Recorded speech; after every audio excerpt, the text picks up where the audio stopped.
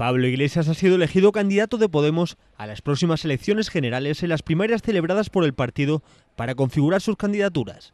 Eh, el candidato más votado es Pablo Iglesias Turrión con 48.494 eh, votos, lo cual supone un 93.89% de, de los votos. Un resultado que no supone ninguna sorpresa para el secretario general de Podemos Aragón. No ha habido sorpresas y la persona que ha resultado elegida es la misma que nos ilusionó a todos y todas hace un año y medio y que ha liderado este proyecto desde, desde el primer momento.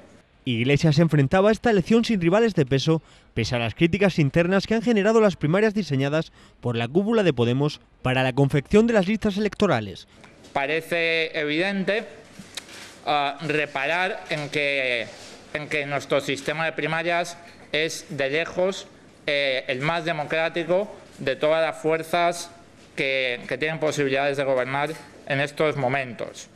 A su vez, en Cataluña se ha presentado como candidato de la confluencia de fuerzas de izquierda Lluís Rabel. Que efectivamente la vocación de esta propuesta no es ser una oposición. Eh, sino eh, conquistar el gobierno de la Generalitat.